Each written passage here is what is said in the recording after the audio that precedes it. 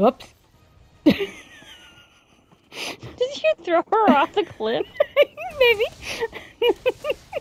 There's a reason why I went whoops.